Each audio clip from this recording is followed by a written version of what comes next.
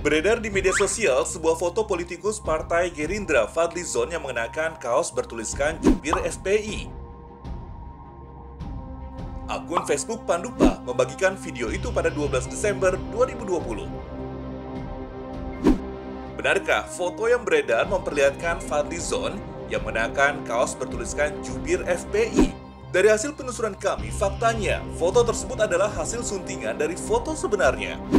Dalam unggahan akun Twitter resmi @fadlizon pada 28 Desember 2019, terdapat foto serupa seperti foto yang dibagikan akun Pandupa. Namun dalam kaos Fadlizon bukan tertulis jubir FPI, melainkan bertuliskan jubir rakyat. Fadlizon juga mengunggah desain kaos tersebut pada akun Instagram pribadinya @fadlizon.